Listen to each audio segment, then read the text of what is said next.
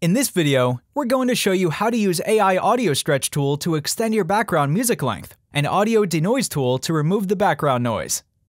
So I've opened up a project in Wondershare Filmora 12, and as you can see, the music track is shorter than the footage on the project timeline.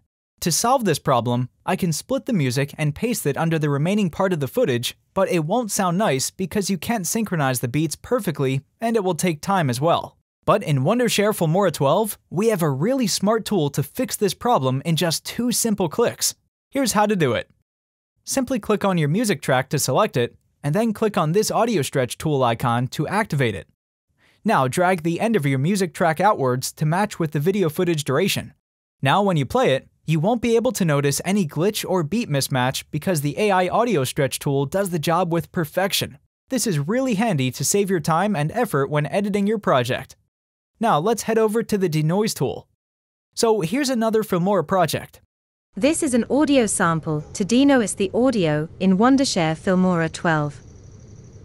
As you can hear, there's some background noise in the clip like reverb, hisses, and hums, etc. Let's clean the audio and reduce all of these sounds in just a few simple steps with the help of a new denoise tool. Simply click the clip with all of the noise to open up the editing panel, then select the audio tab from the top. This tab allows us to adjust everything we need. We can activate the auto normalization to bring our clip to a better volume. Next, scroll down to the denoise section and click the toggles to activate the AI speech enhancement and wind removal to get a better sound.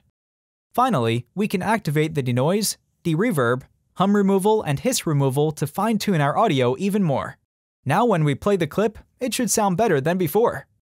This is an audio sample to denoise the audio in Wondershare Filmora 12. Sounds way better, right?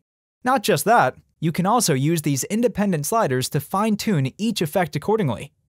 So this is how you can easily remove background noise from your clips by using the new Audio Denoise tool in Wondershare Filmora 12.